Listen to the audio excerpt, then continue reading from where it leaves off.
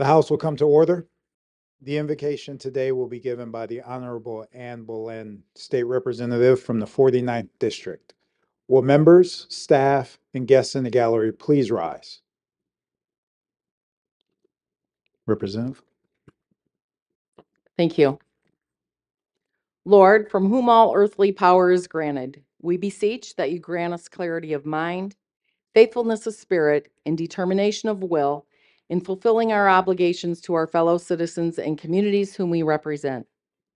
Grant us the wisdom to faithfully engage in this vocation as legislators, and through this granted vocation, may our efforts strengthen, defend, and preserve our state for future generations.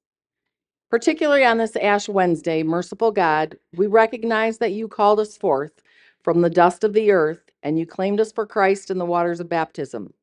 Going into the Lenten season, I urge all of us to fast. Fast from saying hurtful words and instead say kind words. I urge us to fast from ha- anger and instead be filled with patience. I urge us to fast from selfishness and instead be compassionate to others. Lord, look upon us as we enter into these 40 days bearing the mark of ashes and bless the journey through the desert of Lent to the spring of rebirth. And Lord, I pray that I may always follow as if you lead and that I may lead as if I follow.